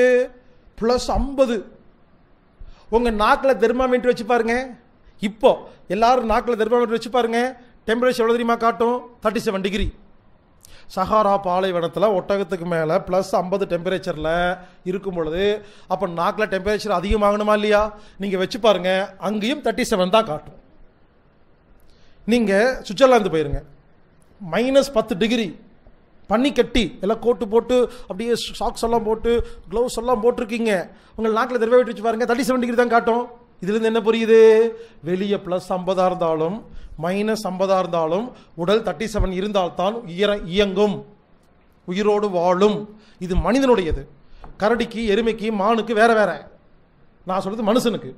இப்போ சொல்லுங்கள் அப்போ உடம்புக்கு அறிவு இருக்கா இல்லையா? இமயமலைக்கு போனாலும் தேர்ட்டி செவன் மெயின்டைன் பண்ணுதா இல்லையா? ராஜஸ்தான் போனாலும் மெயின்டைன் பண்ணுதா இல்லையா? அப்போ அறிவு இருக்கா இல்லையா? அப்படி அறிவோட தேர்ட்டி செவன் டிகிரி இருக்கிற அப்படி ninety eight point six degree Fahrenheit இருக்கிற உடம்பு காய்ச்சல் வந்தால் மட்டும் ஏன் நூறு நூற்றி ரெண்டுக்கு போகுதுன்னா தயவு செய்து புரிஞ்சுக்கங்க. உடம்பு அறிவில்லாமல் போகல ஒழுங்காத்தான் இருக்குது. நூற்றி ரெண்டு நூற்றி மூணு டெம்பரேச்சர் வந்தாதான் ஹெல்பர் கில்லர் சப்ரஸர் மெமரி வேலை செய்ய முடியும். கழிவுகளை வெளியேற்ற முடியும். உடம்புக்கு சூடு தேவைப்படுகிறது. அது அதனால் ஏற்றுகிறது ஏன் பயப்படுகிறீர்கள்? நம்ம என்ன பண்ணிட்டோம்? சூடு அதிகமானா நமக்குள்ள ஒரு பயம். என்னமோ தப்பு நடக்குதுன்னு. கிடையாது. அதுக்கு தான் உதாரணம் சொன்னேன். இமயமலைக்கு போனாலும் சகாராவளை பாலைவனத்துக்கு போனாலும் அதிகமாகாத சூடு. காய்ச்சலப்ப ஏன் அதிகமாகுதுன்னா உடம்புக்கு தேவை. உடனே அடுத்த பயம். சார் நீங்கள் சொல்கிறது கரெக்டு ஆறு மாதம் முன்னால் எங்கள் பக்கத்து வீட்டில் ஒரு குழந்தைக்கு அப்படி தான் ஃபீவர் வந்து ஃபிட்ஸ் வந்துருச்சு. எனக்கு பயமாக இருக்குது என் குழந்தைக்கு ஃபிட்ஸ் வந்துருமான்னு பயமாக இருக்குது அதாவது பரவாயில்லைங்க. ரெண்டு வருஷம் முன்னால் எங்கள் சொந்தக்கார குழந்தை இறந்துருச்சுங்க. எனக்கு பயமாக இருக்குமா இல்லையா? என் குழந்தை தானே. நீங்கள் வாட்டு சொல்லிட்டு நீங்கள் வாட்டுக்கு போயிடுவீங்க நாளைக்கு ஆபத்து வந்தால் நீங்களே வந்து காப்பாற்றுவீங்க அப்படின்னு கேட்கலாம். உரிமை இருக்குது. நான் என்ன சொல்ல வரேன்னு புரிஞ்சுக்குங்க. குழந்தை இறந்ததுக்கும் ஃபிட்ஸ் வந்ததுக்கும் டெம்பரேச்சர் காரணம் கிடையாது. இன்னும் கொஞ்ச நேரம் கழிச்சு விளக்க சொல்றேன் அதுக்கு. வெயிட் பண்ணுங்க இன்னும் கொஞ்சம் விஷயம் இருக்கு. அது புரியும் பொழுது அந்த குழந்தைக்கு ஃபிட்ஸ் வந்ததுக்கும் உயிர் போனதுக்கு காரணம் என்னங்கிறது உங்களுக்கு புரிஞ்சிடும் இப்போ நான் சொல்கிறது என்னென்னா இல்லை நல்லா கவனிங்க. ஒரு குழந்தைக்கோ பெரியவங்களுக்கோ ஃபிட்ஸ் வரணும்னா நல்லா கவனிங்க. உடம்பு எவ்வளவு டெம்பரேச்சர் அதிகமானாலும் வராது. மூளை டெம்பரேச்சர் அதிகமானாதான் வரும். இதை கண்டுபிடித்த நமது தாத்தா பாட்டி என்ன பண்ணாங்க? அந்த காலத்தில் யாருக்காவது காய்ச்சல் வந்தால் டெம்பரேச்சர் அதிகமானதுக்கெல்லாம் யாரும் பயப்பட்டதில்லை. மூளை டெம்பரேச்சர் அதிகமாக கூடாது என்பதற்காக வெள்ளை துணியை பச்சை தண்ணியில் முக்கி நினைத்து நெத்தியில் பத்து போட்டார்கள். எவ்வளோ பெரிய சயின்டிஸ்ட் நம்ம ஆளுங்க? தாத்தா பாட்டி நீங்கள் வேணா அந்த காலத்து பழைய படங்கள்லாம் பாருங்கள் எம்ஜிஆருக்கோ விஜய் விஜய் சி- சிவாஜிக்கோ காய்ச்சல் வந்திருந்ததுன்னா எப்படி காமிச்சிருப்பாங்க? பழைய படத்தை பாருங்க. அம்மா மடியில் படுத்திருப்பார். அம்மா மகளு நெத்தியில் பத்து இருக்கும். இவ்வளோதான் இது அந்த கால சினிமா படம். இந்த காலத்தில் சினிமா படத்தில் யாருக்காவது காய்ச்சல் வந்ததுன்னா பாருங்கள் மூஞ்சில் ஏதோ மாட்டி வச்சுருக்கோம் இங்கே தொங்கிட்டு இருக்கும் நிறைய மிஷின் இருக்கும். சொந்தக்காரங்க யாருமே பக்கத்தில் இருக்க மாட்டாங்க. சின்ன வட்டமாக ஓட்டைகள் எட்டி எட்டி பார்த்துட்டு இருப்பாங்க. சயின்ஸ் டெவலப் ஆயிருச்சு. அப்படின்னு சொல்றீங்கல்ல? சயின்ஸ் டெவலப் ஆனா ஒரு நோயை சீக்கிரமா குணப்படுத்தணுமா? இல்ல லேட் பண்ணணுமா? கிரிட்டிக்கல் பண்ணணுமா? இல்ல சுலபம் பண்ணணுமா? இதான் கேள்வி. சயின்ஸ் டெவலப் ஆகாத காலகட்டத்தில் வீட்டில் குழந்தை பெற்றுட்டு இருந்தாங்க. சயின்ஸ் டெவலப் ஆயிடுச்சு வீட்டில் பெற்றுக்காதேன்னு சொல்றாங்க. இது என்னங்க சயின்ஸ் அறிவுகட்ட சயின்ஸ் யாராவது சயின்ஸ் டெவலப் ஆயிடுச்சுன்னா ஐம்பது வருஷம் முன்னால் இருந்தா நீ சுலபம் பண்ணி கொடு. நான் ஒத்துக்கிறேன் சயின்ஸ் டெவலப் பண்ணு. கஷ்டம் பண்ணி கொடுத்துட்டு எதுக்கு சயின்ஸ் டெவலப் ஆச்சுன்னு சொல்கிறேன் அப்போ ஏமாத்துற? வியாபாரம் பண்ணுற இது என்னங்க இது ஈஸியாக புரிஞ்சுக்க வேண்டிய விஷயங்க. நூறு வருஷம் முன்னால் காய்ச்சல் வந்துச்சு. என்ன பண்ணாங்க? இப்போ சயின்ஸ் டெவலப் ஆயிடுச்சு என்ன பண்ணுறாங்க அதிகமாக சஃபர் பண்ணுறாங்கங்க என்ன புரியல? இங்கே பாருங்க. சிம்பிளாக புரிஞ்சுக்குங்க. மூளைக்கு சூடு அதிகமானாதாங்க ஃபிட்ஸ் வரும். அப்போ என்ன பண்ணணும்? ஃபஸ்ட்டு விஷயம் காய்ச்சல் வந்தால் வெள்ளை கலர் பருத்தி துணி. ஏங்க சில பேர்த்துக்கு புரியலையா? தமிழில் சொல்கிறேன் பியூர் ஒயிட் காட்டன் கிளாத்து சில பேர்த்துக்கு தமிழில் சொல்ல வேண்டியது இருக்குங்க எல்லாமே. சாதாரண வேஸ்ட் துணியை தண்ணியில் முக்கி புழிஞ்சு இங்கே பாருங்க சொத சொதன்னு வச்சிடக்கூடாது. புழிஞ்சு லேசாக ஈரமாக இருக்கும் பொழுது நெத்தியில் வச்சா நெத்தி பகுதி கொஞ்சம் குளுகுளுன்னு இருக்குமா? இது போதுங்க. டெம்பரேச்சர் உடம்பெல்லாம் அதிகமான ஒன்றும் ஆகாதுங்க. காலையில் சுடு தண்ணி குளிக்கிறீங்க இல்லையா? எவ்வளோ டெம்பரேச்சரு டீ குடிக்கிறீங்க இல்லையா? எவ்வளோ டெம்பரேச்சரு அதெல்லாம் உடம்பு தாங்குதா இல்லையா? மூளை தாங்க சூடு ஏறக்கூடாது இதாங்க கான்செப்ட் புரிஞ்சுக்கங்க. நம்ம இந்த அஞ்சு நாளில் கான்செப்டை தான் புரிஞ்சுக்கிறோம். செய்கிறக்கெல்லாம் ஒன்றும் இல்லை. புரிஞ்சால் செய்ய மாட்டேங்க. நான் பேசுகிறது ரூல்ஸ் இல்லை. புரிஞ்சுக்க ரூல்ஸ் வேற கான்செப்ட் வேற. புரிதல். அந்த காலத்தில் பச்சை தண்ணி இல்லைங்க. தாய்ப்பாலில் நினைத்து வைப்பார்கள். கேட்டு பாருங்கள் தாத்தா பாட்டி கேட்டு பாருங்க. கிராமத்தில் ஒரு ஐம்பது வீடு தான் இருக்கும். யாருக்காவது உடம்பு சரியில்லைன்னா யாருக்கு தாய்ப்பால் சுரக்குதோ அந்த அம்மா அவங்க வீட்டுக்கு போய் பால் சுரந்து கொடுத்துட்டு வருவாங்கங்க. அவங்க அந்த வெள்ளை துணியில் கட்டி நெத்தியில் பற்றி வைப்பாங்க. சரியாக போயிருங்க. சரி இப்போ தாய்ப்பால் கிடைக்காட்டி பரவாயில்ல. தண்ணி இருக்கா இல்லையா? நெத்தியில் போட்டால் முடிஞ்சதா இல்லையா? காட்டன் துணி தண்ணி. இங்கே மட்டும் குழுகுழுன்னு வைங்க ஃபிட்ஸ் வராது. டெம்பரேச்சர் அதிகமாகிறது நல்லதுங்க. தப்பு கிடையாதுங்க. ஃபிட்ஸ் எல்லாம் வராது உயிரெல்லாம் போகாது. இதை பற்றி அப் கொஞ்சம் ஒரு அஞ்சு நிமிஷம் வெயிட் பண்ணுங்கள் அந்த இடத்துக்கு வந்துடுறேன். இல்லை ஞாபகப்படுத்துங்க. அடுத்தது. ஒன்று ரெஸ்ட் எடுக்கணும். தாகம் எடுத்தால் தண்ணி பசி எடுத்தால் கஞ்சி. ஹெவி ஃபுட்டெல்லாம் சாப்பிடக்கூடாது. ரெஸ்ட்டு காத்தோட்டம் லீவு லீவு முக்கியம். லீவ் போடணும். ஆஃபீஸுக்கு போய் லெட்டர் கொடுக்கணும். As I am suffering from fever எவ்வளோ யோசிச்சு பாருங்கள் லெட்டர் எழுதி கற்றுக் கொடுத்தாங்களா இல்லையா? So I I need two days leave please grant me your faithfully இது ஒன்று தாங்க நம்ம லெட்டர் எழுத தெரியும். அதை எழுதலாமா இல்லையா? எழுதி கொடுத்துட்டு வரலாமா இல்லையா? எழுதுறதே இல்லைங்க. எல்லாரும் எழுதியா பண்ணுறோம் இங்கே பாருங்க. யாராவது சொந்தக்காரங்க ஊருக்கு வருவாங்க இல்லையா? சுத்தி காட்டுறதுக்கு பொய் சொல்லி லீவ் எடுக்கிறது எம்சி போடுறது. நோயே வராதப்போ நோய் வந்துருச்சுன்னு சர்டிஃபிகேட் வாங்கி லீவ் கொடுத்தீங்க இல்லையா? அந்த அதுக்கு தண்டனை தான் இதெல்லாம். ஃபீவர் அப்போ லீவ் போடுறதுக்கு தான் மெடிக்கல் லீவ் வச்சுருக்காங்க. தெரியுமா? மெடிக்கல் லீவ் எதுக்கு வச்சுருக்காங்க? ஃபீவர் அப்போ காய்ச்சலப்போ லீவ் போடுறதுக்கு தான். ஆனால் நம்ம என்ன பண்ணுறோம் நமக்கு தேவையானப்போ பொய் சொல்லி லீவ் எடுக்கிறோம் மெடிக்கல் சர்டிஃபிகேட் வாங்கி. இப்போல்லாம் எல்லா ஹாஸ்பிட்டல்லையும் அது இருக்குதுங்க. போய் ஐநூறுரூவா கொடுத்துட்டு எம்சி கொடுங்கன்னா கொடுத்துருவாரு. செக்கெல்லாம் பண்ண மாட்டார். ஓ ஓ அவ்வளோதான் இது ஒரு ஃபார்மாலிட்டியாமா இனிமேல் காய்ச்சலுக்கு மட்டும்தாங்க எம்சி எடுக்கணும். கரெக்டாக இருக்குங்க எம்சி கரெக்டாக இருக்குங்க. வருஷத்துக்கு ஒரு தடவை காய்ச்சல் வரும். நாலு நாள் அஞ்சு நாள் லீவ் எடுங்க. சரியா போச்சு. லீவ் போடணும். ரெஸ்ட் எடுக்கணும். ஓய்வு எடுக்கணும். பசி எடுத்தால் கஞ்சி தாகம் எடுத்தால் தண்ணி. டிவி பார்க்கக்கூடாது செல்ஃபோன் பேசக்கூடாது. தேவையில்ல எந்த வேலையும் செய்யக்கூடாது. உடம்புக்கிட்ட பேசணும். பேசாமல் படுத்துருக்கணும். சரிங்களா? நெத்தியில் பத்து. இவ்வளோதாங்க விஷயம். ஹெல்பர் கில்லர் சப்ரஸர் மெமரி வேலை செய்யும். தும்மல் வரும். வாந்தி வரும். நீங்களும் செக் பண்ணி பாருங்கள் முதல்ல தும்மல் வரும். லேசாக மூக்கொழுகும் அப்புறம் இருமல் வரும். லேசாக தலைவலிக்கும். அப்புறம் தான் டயர்டாகி படுக்கிறீங்க. இல்லை கரெக்டாக தானே வருது? திடீர்னு வயிற்றால போகும். திடீர்னு வாந்தி வரும். அப்போ எல்லாம் புரிஞ்சிருச்சா இல்லையா? இது ப- இது செய்யறதுக்கு தாங்க வருது. எங்கே பாருங்க. தனித்தனியாக செஞ்சீங்கன்னா மொத்தமாக வராதுங்க. காய்ச்சலுங்கிறது மொத்தமாக வருது. எஃப்சி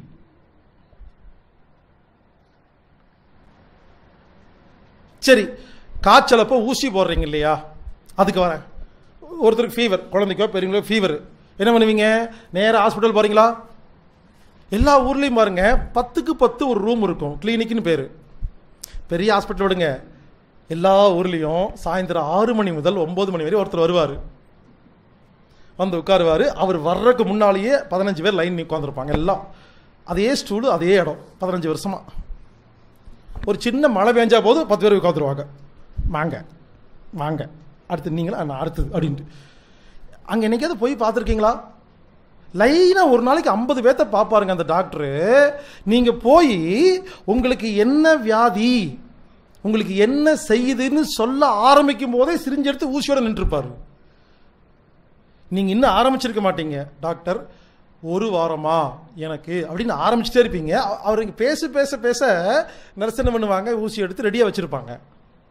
என்னைக்காவது பார்த்துருக்கீங்களா? நீங்கள் சொல்லி முடிச்சு அப்புறம்லாம் டிஸ்கஸ் பண்ணி அதுக்கப்புறம் தானே ஊசி எடுக்கணும்? ரெடியாக இருக்கும். அது என்ன ஊசி தெரியுமா? உலகத்தில் யாருக்கு காய்ச்சல் வந்தாலும் ஒரு ஊசி போடுவாங்க. அந்த ஊசியில் மருந்து இல்லை மாத்திரை இல்லை. உங்கள் டெம்பரேச்சர் அதிகமாக இருக்கு இல்லையா? அப்போது அந்த ஊசி என்ன பண்ணுன்னா வியர்வை சுரப்பிகளை ஆப்டேட் பண்ணும். இதாங்க கண்டுபிடிச்சது. நீங்கள் அந்த ஊசி போட்டு வீட்டுக்கு வாங்க குப்புன்னு வேர்க்குங்க. நம்ம சொல்லுவோம் அப்பா வேத்திருச்சுன்னு அடுத்த நாள் காலையில் நார்மலாகிடுவீங்க வேலைக்கு போயிடுவீங்க எங்கே காய்ச்சல் குணமாகலை? காய்ச்சலை குணப்படுத்தணும்னா டெம்பரேச்சரை தேர்ட்டி செவன் கொண்டு வந்தால் போதுங்க. தாங்க இதை இன்டைரக்ட் வைத்தியம். இது வைத்தியம் இல்லை இது ஏமாத்துறது. அப்போது அந்த சுரப்பி அந்த இன்ஜெக்ஷன் என்ன பண்ணுது? உங்கள் டெம்பரேச்சர் நார்மல் பண்ணுது. இந்த பாடியோட சிஸ்டம் என்ன தெரியுமா? டெம்பரேச்சர் நார்மலுக்கு வந்தால் இந்த இம்யூன் பவர் இருக்கு இல்லையா? ஹெல்பர்ஸ் கில்லர் சப்ரஸர் எல்லாம் டக்கு நின்றுட்டு யாராவன் நம்ம கஷ்டப்பட்டு ஒரு வேலையை பண்ணிட்டு இருந்தோம். டெம்பரேச்சர் இறக்கி விட்டான்னு சொல்லி அந்த இம்யூன் பவர் இருக்கு இல்லையா? ஹெல்பர் கில்லர் சப்ரஸர் மெமரி அது உடம்பு என்ன பண்ணுவாமா ஸ்டாப் பண்ணிட்டு இயக்க சக்திக்கு மாறிடுமாமா? இவ்வளோ கான்செப்ட் இப்போ சொல்லுங்க இது டெம்பரவரியா பர்மனண்டா இது நல்லதா கெட்டதா? கெட்டது. உடம்புக்கு செய்கிற துரோகம். என்னாகும்? ஹலோ அடுத்த நாள் வேலைக்கு போயிடுவீங்க ஆனால் அந்த நோய் கிருமி எல்லாம் இருக்குமா? குப்பை எல்லாம் இருக்குமா? அதாவது பரவாயில்ல. முக்கியமான விஷயம் பாருங்க. ஹெல்ப்பர் இருக்குமா? கில்லர் இருக்குமா? சப்ரஸர் வேறு உள்ள இருக்குமா? இங்கே பாருங்க. நல்லா கவனிங்க. காய்ச்சல் வந்த உடனே ஊசி போட்டிங்கன்னா இந்த இடம். ஹெல்ப்பர் சப்ளை ஆனதுக்கு ஊசி போட்டிங்கன்னா செகண்டு கில்லர் சப்ளை ஆகிட்டு ஊசி போட்டோன்னா தேர்டு ஸ்டேஜ் சப்ரஸர் சப்ளைஸ் ஊசி போட்டிங்கன்னா ஃபோர்த் ஸ்டேஜ் இது நாலு வெளியே போனோன்னு ஊசி போட்டிங்கன்னா ஃபிஃப்த் ஸ்டேஜ் ஃபிஃப்த்து ஸ்டேஜில் ஊசி போட்டால் தப்பிச்சுக்குவீங்க. ஒன்று ரெண்டு மூணு போட்டால் மாட்டிக்குவீங்க. குறிப்பாக தேர்டு ஸ்டேஜ்னு சொல்லுவாங்க இல்லையா? கில்லர் சப்ளை ஆகி சப்ரஸர் சப்ளை ஆகிறதுக்கு முன்னால் நடுவில் ஊசி போட்டிங்கன்னா முடிஞ்சிங்க. சொல்கிறமா விளக்கமாக சொல்லிட்டா? கில்லர் சப்ளை ஆயிடுச்சு கில்லர் போய் நோய் கிருமியை கொலை பண்ணிருச்சு. அடுத்து சப்ளசர் சப்ளை ஆகி அந்த நோய் கிருமியை கொலை பண்ண கில்லரை கொலை பண்ணுமா? இந்த வேலை உடம்பு செய்ய ஆரம்பிக்கும் பொழுது ஊசி போட்டு காய்ச்சல் நிறுத்திட்டீங்க. என்னாகும்? உங்கள் உடம்பு தயாரித்த கில்லர் நோய் கிருமியை கொலை செய்து முடித்தவுடன் அதை கொலை செய்ய ஒரு மருந்து தயாரிப்பதற்கு நீங்கள் தடுத்ததால் அந்த கில்லர் மூட்டை உடைக்கும். இதற்கு பெயர் தான் ரோமாய்டாய்டு ஆத்தரட்டிஸ் ரோமாட்டாய்டு ஆத்தரட்டிஸ் சொல்கிறாங்களா இல்லையா? மூட்டு முழங்கெல்லாம் வலிக்குதா இல்லையா? எங்க புரியல? ரொமாட்டாய்டு ஆத்திரட்டிஸை குணப்படுத்தவே முடியாதுன்னு சொல்கிறாங்க நான் ஒத்துக்க மாட்டேன். குணப்படுத்த முடியும். நான் சொல்லி ஊரில் நூற்றுக்கணக்கான பேர் குணமாகி நல்லா இருக்கிறாங்க. ப்ரூவ் பண்ண முடியும். எப்படின்னா இவ்வளோதாங்க அந்த சப்ரஸரை மீண்டும் சப்ளை பண்ண வச்சா குணமாயிருங்க. எல்லாரும் சொல்கிறீங்க இல்லையா? எனக்கு மூணு வருஷம் முன்னால் பன்றி காய்ச்சல் வந்துச்சு. அதுக்கப்புறம் தான் இந்த மூட்டு முழங்கால்லாம் வலிக்குது. நீங்கள் நினச்சிட்டீங்க பன்றி காய்ச்சல்னால தான் மூட்டு வலி வந்துருச்சுன்னு. சிக்கன் குனியானால தான் மூட்டு வலி வந்துருச்சுன்னு. நான் என்ன சொல்கிறேன் சிக்கன் குனியாவோ பன்றி காய்ச்சலோ கிடையாது. அதுக்கு ஒரு ஊசி போட்டீங்க இல்லையா? அதனால தான் வந்துருச்சு. மீண்டும் சொல்கிறேன். கில்லர் சப்ளை பண்ணி சப்ர சப்ளை பண்ணுறதுக்கு முன்னால் கட்டான அந்த கேப்பில் ஊசி போட்டவங்களுக்கு மட்டும்தான் ரொமைட்டைட் ஆத்தரட்டிஸ் வரும். எப்படி சரி பண்ணுறது அஞ்சு வருஷம் முன்னால் ஊசி போட்டிங்களா? ரொமைடைட் வந்துருச்சா? எப்படி சரி பண்ணுறது சொல்லட்டுங்களா? சுலபம் நான் சொல்கிற மாதிரி எல்லாம் கேட்டு நீங்கள் வீட்டில் போய் ஃபாலோ செஞ்சீங்கன்னா புதுசாக என்னைக்காவது ஒரு காய்ச்சல் வருமா? புதுசாக வர காய்ச்சலுக்கு நான் சொல்கிற மாதிரி செஞ்சு மருந்து மாத்திரையே சாப்பிடாம இருந்தீங்கன்னா புதுசா கில்லர் வரும்ல அந்த கில்லரை சப்ரஸ் பண்றதுக்கு மருந்து வரும்பொழுது அஞ்சு வருஷம் முன்னால வந்த கில்லரையும் சப்ரஸ் பண்றதுக்கு உடம்பு சப்ரஸரை தயார் பண்ணி அனுப்பும் பொழுது உங்களுக்கு மூட்டு வலி சரியாகும். ஒரு விஷயம் சொல்லிட்டா யாருக்காவது காய்ச்சல் வந்துச்சுன்னா உதாரணத்துக்கு சிக்கன் குனியா வந்துருச்சு உங்களுக்கு. ஒரு நூறு கிருமி சிக்கன் குனியா கிருமி உள்ள வந்துருச்சு உடனே காய்ச்சல் வந்துருச்சு. இந்த உடம்பு நான் சிக்கன் குனியாக்காக வந்திருக்கிறேன்னு சிக்கன் குனியா கிருமி மட்டும் கொள்ளாது. சிக்கன் குனியானால உங்களுக்கு காய்ச்சல் வந்தா அந்த சிக்கன் குனியாவையும் கொல்லும். போன வருஷம் வந்த மட்டன் குனியா அதுக்கு முந்தின வருஷம் வந்த புரோட்டா குனியாலாம் கொல்லும். ஏங்க உடம்பு காய்ச்சல் தெரியுமா? காய்ச்சல் வர்றதுக்கு தாங்க சிக்கன் குனியா காரணம். பன்றி காய்ச்சல் காரணம் காய்ச்சல் வந்தால் உடம்பு எல்லா கிருமியும் கொல்லும் எல்லா கழுவியும் வெளியேற்றும் எல்லா வியாதியும் குணப்படுத்துங்க. தாங்க கான்செப்ட் எனவே என்னை பொறுத்தவரை காய்ச்சல் என்பது ஒன்றே ஒன்றுதான் இருக்கிறது. சிக்கன் குனியா மட்டன் குனியா டெங்கு பன்றி காய்ச்சல்னு கிடையாது. உங்களை ஏமாற்றுகிறார்கள். அம்மை வருமா இல்லையா? அந்த காலத்தில். அப்போ என்ன பண்ணுவோம்? அம்மை வந்தால் நம்ம தாத்தா பாட்டி என்ன சொல்லுவாங்க ஹாஸ்பிட்டல் போகாதடா படுத்து தூங்குடான்னு சொல்லி பதினஞ்சு நாள் படுத்து என்ன பண்ணுறோம் மஞ்சள் பொடி தண்ணியில் போட்டு குடிக்கிறோம். வெயிலில் பாத்திரத்தை தண்ணியை வச்சு மஞ்சள் பொடியை போட்டு அதில் வேப்பலையை போட்டு சூரிய வெளிச்சத்தை உள்ளே விட்டு குளிக்கிறோம் குளிக்கிறோம். பனங்கள் கண்டு சாப்பிட்டோம். இளநீ சாப்பிட்டோம். படுத்திருந்தோம். வேப்பிலையை பாயில் வச்சுருந்தோம். இதை விட என்னங்க ஒரு வைத்தியம் வேணும் காய்ச்சலுக்கு? என்னமோ அம்மையை ஒழிச்சிட்டோ ஒழிச்சிட்டோங்கிறாங்க. ஏன் தெரியுமா? அம்மையை ஒழிச்சிட்டானுங்க. அம்மை வந்தால் எல்லா நோயும் குணமாயிரும். அம்மைன்னு என்ன? கடந்த பதினஞ்சு வருஷமா உடம்புல இருக்கிற நோயை ஒரே நாளில் குணப்படுத்த வந்த வைத்தியம்.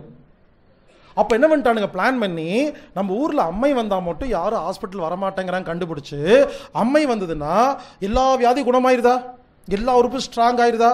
இதை கண்டுபிடிச்சி அம்மைக்கு தடுப்பூசி போடுறோம்னு சொல்லி இப்போ காய்ச்சல் வருது இல்லையா எல்லாத்துக்கும்? எல்லாத்துக்கும் அம்மை தாங்க வருது. ஆனால் நம்ம மைண்ட் செட் தெரியுமா? அம்மைக்கு ஏற்கனவே தடுப்பூசி போட்டிருக்கிறோம். இப்போ வந்திருக்கிறது அம்மை இல்லை. டெங்கு பன்றி காய்ச்சல்னு டிவியில் திரும்ப திரும்ப சொல்லி உங்களை ஏமாத்துறாங்க. எல்லாரும் புரிஞ்சுக்குங்க. இதுலேருந்து என்ன புரிஞ்சுது? இனிமேல் யாருக்காவது காய்ச்சல் வந்தால் அதுக்கு பேர் வைக்காதீங்க. காய்ச்சல் என்பது ஒன்று. வருவதற்கு ஆயிரம் காரணம் இருக்கலாம்.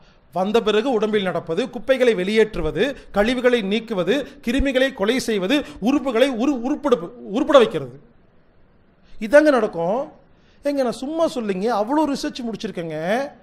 நான் ஏன் தெரியுமா இவ்வளோ தில்லா பேசிகிட்டு இருக்கிறேன் ஜெர்மன் நாட்டில் இன்னைக்கு போங்க. யாருக்காவது சிக்கன் குனியா இல்லை டெங்கு காய்ச்சல் வந்துருச்சுங்க ஃபீவருங்க இன்னைக்கு உங்கள் ஃப்ரெண்ட் இருந்தால் ஃபோன் பண்ணுங்க. ஜெர்மன் நாட்டில் யாருக்காவது காய்ச்சல்னு போனீங்கன்னா ஊசி போடவே மாட்டாங்கங்க.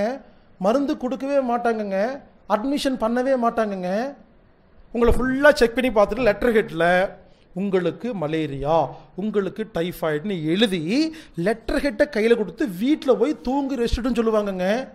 இதுதான் இன்று. இன்று இருக்கும் ஜெர்மன் நாட்டில் உள்ள அலோபதி வைத்தியம். அலோபதி வைத்தியம் இந்தியாவில் வேறுங்க ஃப்ரான்ஸில் வேறுங்க சிங்கப்பூரில் வேறுங்க. நான் எல்லா நாட்டுக்கும் போயிட்டு வந்தனால தான் தில்லா பேசிகிட்டு இருக்கேன். எந்த தமிழ்நாட்டுக்கு இருக்கிற எந்த அலோபதி டாக்டராவது வெளிநாட்டில் போய் அங்கே இருக்க டாக்டர் என்ன பண்ண பார்த்தீங்களா இவங்கெல்லாம் போகிறாங்க இல்லைங்களா வெளிநாட்டுக்கு? ஜெர்மன் ஃப்ரான்ஸ்னு இதெல்லாம் பார்க்குறது இல்லைங்க. நேராக டூர் மாதிரி போகிறாங்க அவன் என்ன பண்ணுறான் அந்த வெளிநாட்டு கம்பெனி மருந்து மாத்திரை கம்பெனிக்காரன் அப்படியே ஃப்ளைட்லேருந்து இறக்கி அப்படியே கூட்டிகிட்டு போய் ஒரு பெரிய ஹோட்டலில் தங்க வச்சு தண்ணி வாங்கி கொடுத்து ஜாலியாக ஊர் சுற்ற வச்சு ஒரு கான்ஃபரன்ஸ் நடத்தி ஒரு மருந்து மாத்திரையை விற்கிறதுக்கு ஏஜென்சிக்கு புக் பண்ணுறான் அதுக்கு தான் போயிட்டு வந்தாங்க. ரிசர்ச் பண்ணுறதுக்கெல்லாம் போகல. நான் ஒத்துக்க மாட்டேன். இன்னைக்கு யாராவது ஜெர்மன் நாட்டில் போய் காய்ச்சல் வந்து அட்மிட் போகிறீங்க ஹாஸ்பிட்டலில் அந்த டாக்டர் ஊசி போட மாட்டேன்னு சொன்ன உடனே ஹலோ மரியாதையாக ஊசி போடுங்கன்னு சொன்னீங்கன்னா அவர் போலீஸுக்கு ஃபோன் செய்வார். சார் இவர் வந்து ஊசி போட சொல்கிறார் சார். காய்ச்சலுங்கிறது தன்னைத்தானே குணப்படுத்து சார். அப்படின்னு போலீஸ்கிட்ட பேசுவாங்கங்க. புரியல? அலோபதி நல்லது. எங்கே? ஜெர்மனியில் உள்ள அலோபதி ஜெர்மன் மொழியில் எழுதப்பட்ட நல்ல வைத்தியம். இந்தியாவில் இருக்கும் அலோபதி கெட்டது இங்கிலீஷில் எழுதப்பட்டது. புரிஞ்சுக்குங்க? எல்லா ஊர்லயும் எல்லா வைத்தியம் வேற வேற. உலகத்திலே மோசமாக இருக்கிறது இந்தியாவில் மட்டும்தான். இருக்கிற குப்பையெல்லாம் இங்கே விற்கிறானுங்க நீங்கள் வேணால் இந்தியாவில் இருக்கிற மருந்து மாத்திரையை ஃப்ளைட்டில் எடுத்துகிட்டு போங்க. அமெரிக்கா எடுத்துகிட்டு போக முடியாது. லண்டனுக்கு எடுத்துகிட்டு போக முடியாது. அவங்க இறங்கினோடனே இதெல்லாம் பேண்டுங்கிறானுங்க அப்போது ஓ நாட்டில் பேன் பண்ணதை என் நாட்டில் வைக்கிற? யோசிச்சு பாருங்க. ஒரு நாட்டில் விஷம் சொல்லுவானுங்களாமா? நம்ம நாட்டில் எப்படி விஷம் இல்லைன்னு ஆகும்? இந்தோனேஷியாவில் எல்லாரும் வீட்டில் குழந்தை பெற்றுக்கிறாங்க எங்கேயாவது குழந்தை பெற்றுக்கிட்டா பேப்பரில் போடுறாங்க. வாவ்! இன்று இந்த அம்மா அப்பா வீட்டில் குழந்தை பெற்றுக்கொண்டார்கள் இந்தோனேஷியாவில் நம்ம நாட்டில் உடனே போலீஸ் வருது அப்படிங்கிறானுங்க. யோசிங்க என்ன சொல்கிறேன்னு யோசிங்க? காய்ச்சல் ஒரு நோயே இல்லைங்க. நான் நிரூபிக்க முடியுங்க. சும்மாலாம் சொல்லுங்க. அவ்வளோ ரிசர்ச் முடிச்சிருக்கிறேங்க. அப்போ ஜெர்மன் நாட்டில் என்ன பண்ணுவாங்க? யாருக்காவது சிக்கன் குனியா மட்டன் குனியா வந்துச்சுன்னா பேப்பர் தரு உடனே அந்த ஃபோட்டோ எடுத்து வாட்ஸ்அப்பில் ஆஃபீஸ்க்கு அனுப்பிச்சிட்டு அதே மாதிரி தான் நம்ம அதே தான் ஜெர்மன் நாட்டிலே அதே தான் as I am suffering from fever அதே தான் ஜெர்மன் மொழியில் எழுதி அனுப்பிச்சிட்டு லீவ் எடுத்து வீட்டில் படுத்துக்குவாங்கங்க.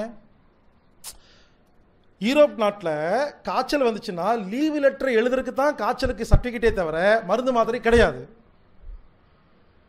நம்ம நாட்டில் உடனே அட்மிட் ஆகி ஊசி போட்டு அதை பண்ணி இதை பண்ணி. அதனால் இனிமேல் யாருக்காவது காய்ச்சல் வந்துச்சுன்னா முதல்ல பயப்படாதீங்க. காய்ச்சல்ங்கிறது நோய் கிடையாது. இப்போ வருவோம். காய்ச்சல் அப்போ ஃபிட்ஸ் வந்து ஏன் குழந்தை இறக்குது? காய்ச்சல் ஆக்சுவலாக இறந்தது காய்ச்சலில் இல்லை. நல்லா புரிஞ்சுக்குங்க. இறந்தது காய்ச்சல் இல்லை. சொல்லிட்டா? முதல்ல காய்ச்சல் வந்திருக்கு. நீங்கள் இறந்தப்போ தானே நீங்கள் பார்த்துருக்கீங்க. அந்த ஹிஸ்ட்ரி எடுத்து பாருங்க. பத்து வயசில் குழந்தை இறந்துருச்சுங்க காய்ச்சல் வந்து. அப்படின்னு சொல்கிறாங்களா இல்லையா? அந்த குழந்தைக்கு மூணு வயசில் சளி வந்திருக்கு. மருந்து கொடுத்துருக்கீங்க.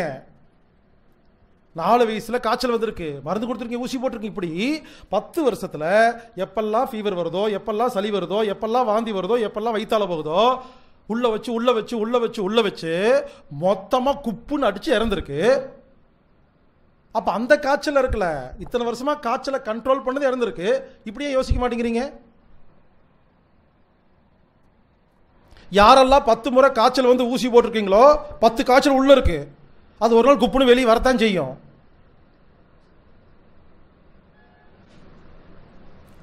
ஒரு வீட்டில் ஒரு குழந்தை இறந்துருச்சுங்க. கோயம்புத்தூரில். நான் போயிருந்தேங்க. அந்த அப்பா அழுகிறாரு. எப்படி அழுகிறாரு? உனக்கு என்ன குறை வச்ச? உனக்கு என்ன குறை வச்ச? தெரியுங்களா? எப்படி பார்த்து தெரியுங்களா? அழுதுட்டு இருக்காருங்க. உனக்கு சின்ன வியாதின்னா உடனே ஹாஸ்பிட்டல் கூட்டிட்டு போயிடுவேன் அப்படின்னு அழுதுட்டு இருக்காரு. உடனே மருந்து கொடுத்துருவேன். எவ்வளவு செலவு பண்ணியிருக்குன்னு தெரியுமா? ஏன் செத்து போயிட்டேன்னு? நான் நினச்சிக்கிட்டேன். அங்கே பேசவா முடியும்? மனசுக்குள்ள யோ அதாயா காரணம்னு சொல்லவா முடியும் அங்கே? எல்லாரும் சீரியஸாக அழுதுட்டு இருக்காங்கங்க. உன்னை வந்து வைத்தியம் பார்த்தேன் மருந்து கொடுத்தேன் செலவு பண்ணேன். இப்போ ஏன் செத்து போயிட்டேன்னா நீ செலவு பண்ணலாம் செத்து போயிட்டாங்க. அது ஏன் புரியல? உடனே அடுத்த கேள்வி வரும். சார் அப்போ நீங்கள் சொல்கிற மாதிரி ஏற்கனவே குழந்தைக்கு பத்து வருஷமாக மருந்து கொடுத்துருக்கேன். அப்போ இயற்கை முறையில் ட்ரை பண்ணால் அந்த குழந்தைக்கு ஆபத்து வந்துடுமா புரியாமல் இருந்தால் ஆபத்து வருங்க. நான் தான் இவ்வளோ இவ்வளோ விஷயம் சொல்கிறேனா இல்லையா? ரெஸ்ட் எடுக்கணும். பசி எடுத்தா இதெல்லாம் இந்த இந்த கான்செப்டெல்லாம் ஃபாலோ பண்ணால் உங்களுக்கு ஆபத்து வராதுங்க. கடைசி டெக்னிக் சொல்கிறேன் காய்ச்சலை எப்படி சீக்கிரமாக குணப்படுத்துறதுன்னு. எல்லாரும் நல்லா கவனிங்க முக்கியமான டெக்னிக் அதாவது உங்களுக்கு எந்த காய்ச்சல் வந்திருக்கிறதோ அந்த காய்ச்சலுக்கு எந்த தாது பொருள் தேவைப்படுகிறதோ அந்த தாது பொருள் எந்த உணவில் இருக்கிறதோ காய்ச்சல் அப்போ அந்த உணவு உங்கள் நாக்குக்கு பிடிக்கும். காய்ச்சலப்போ பாருங்க நாக்கு கசப்பா இருக்கா? ஏன்? உடம்பு சொல்லுது ஏ எதையுமே சாப்பிடாதேன்னு சொல்லுது. நம்ம என்ன பண்ணுவோம்? அப்போ தான் பால் குடிப்போம். அப்போ தான் வந்து தயிர் சாப்பாடு சாப்பிடுவோம். இந்த அம்மா என்ன பண்ணுவாங்க? காய்ச்சலாக இருக்குது இந்த பால் குடி. காய்ச்சலாக இருக்குது இந்த ஆப்பிள் சாப்பிடு. கொடுத்துட்டே இருப்பாங்க. கொடுத்தீங்க நோய் குணமாகாதுங்க பெருசாயிருங்க. இவருங்க நாக்கு ஏன் தெரியுமா கசக்குது? எதையுமே சாப்பிட வேண்டாம்னு சொல்லுது. நல்லா கவனிங்க முக்கியமான விஷயம் காய்ச்சலப்போ சொந்தக்காரங்க ஆப்பிள் ஆரஞ்சு சாத்துக்குடியெல்லாம் வாங்கிட்டு வராங்கல்ல அது எதுக்கு? ரவுண்டு கட்டி சாப்பிட்றதுக்குல்ல. சுற்றி வச்சு வேடிக்கை பார்க்கறதுக்கு. இனிமேல் யாராவது வாங்கிட்டு வந்தாங்கன்னா காய்ச்சலுக்கு படுத்துருக்கீங்கல்ல சுற்றி வச்சுக்கணும். கண்ணில் பார்க்குற மாதிரி வச்சுக்கணும். எதுக்கு தெரியுமா? பார்த்துட்டே இருக்கணும். சரிங்களா? நான் சொல்கிற மாதிரி செய்யணும். இங்கே பாருங்கள் கசப்பா நாக்கு இருக்குதா? இந்த கூட இருக்கீங்க இல்லையா? காய்ச்சலுக்கு ஒருத்தவங்க கூட இருப்பீங்க இல்லையா? நீங்கள் என்ன பண்ணணும்? ஆப்பிள் எடுத்துகிட்டு போய் ஜூஸ் போட்டு கொண்டு போய் கொடுக்கணும். இவ்வளோ ஆப்பிள் ஜூஸ் எடுத்துக்கணும். மொத்தத்தை கொடுக்கக்கூடாது. கொஞ்சமாக ஊற்றி கொடுக்கணும். சின்ன டம்ளரில் கொஞ்சமாக காய்ச்சல் வந்தவங்களுக்கு. அவங்க என்ன பண்ணணும்? நாக்கில் வைக்கணும். கசப்பாக இருந்த வாயி அந்த ஆப்பிள் ஜூஸ் சாப்பிட்டோன்னே உடனே இனிப்பா மாதிரி ஆப்பிள் ஜூஸ் பிடிச்சதுன்னா இந்த காய்ச்சலுக்கு ஆப்பிள் தான் மருந்து. இதே ஆப்பிள் குடிக்கிறீங்க ஜூஸ் கசக்குது. அப்போ என்ன அர்த்தம்? இது மருந்து இல்லை. எப்போ ஆப்பிள் ஜூஸ் கட கசக்குதோ அந்த மொத்த ஜூஸை கூட இருக்கும் குடிச்சிக்கலாம். ஜாலி. இப்படி என்ன வரணும் கூட இருக்கிறவங்க ஆப்பிள் ஜூஸு ஆரஞ்சு ஜூஸ் சாத்துக்குடி இட்லி எல்லாமேங்க. என்ன வேணால் கொடுக்கலாங்க. நல்லா கவனிங்க நான் முதல்ல என்ன சொன்னேன்? சாப்பிடவே கூடாதுன்னு. இப்போ என்ன பண்ணுறேன் என்ன சாப்பிடணும்னு சொல்கிறேன் உங்கள் நாக்குக்கு எது பிடிக்குதோ அது மட்டும்தான் சாப்பிடணும். காய்ச்சலப்போ உங்களுக்கு என்ன மருந்து வேணுமோ அந்த மருந்து எந்த உணவில் இருக்கிறதோ அந்த உணவு மட்டுமே பிடிக்கும். காய்ச்சலப்ப யாருக்காவது இட்லி பிடிச்சா சாப்பிடுங்க குணமாயிருங்க. யாருக்காவது பூரி பிடிக்குதா சாப்பிடுங்க. உங்களுக்கு பூரி பிடிக்காது. பிடிச்சா தாங்க மருந்து. சப்பாத்தி பிடிக்குதா சாப்பிடுங்க உருளைக்கிழங்கு சாப்பிடுங்க. இங்கே பாருங்க நல்லா கவனிங்க முக்கியமான விஷயம் முதல்ல சொன்னது வேற இப்போ சொல்கிறது வேற. ஏன்னா ஒவ்வொரு ஸ்டேஜில் சொல்லிட்டு வரேன். காய்ச்சலப்போ சாப்பிடவே கூடாதுன்னா கண்டதெல்லாம் சாப்பிடக்கூடாது. உங்கள் நாக்குக்கு எது பிடிக்குதோ அது மட்டும்தான் சாப்பிடணும். செக் பண்ணி பாருங்க கரெக்டாக இருக்குங்க?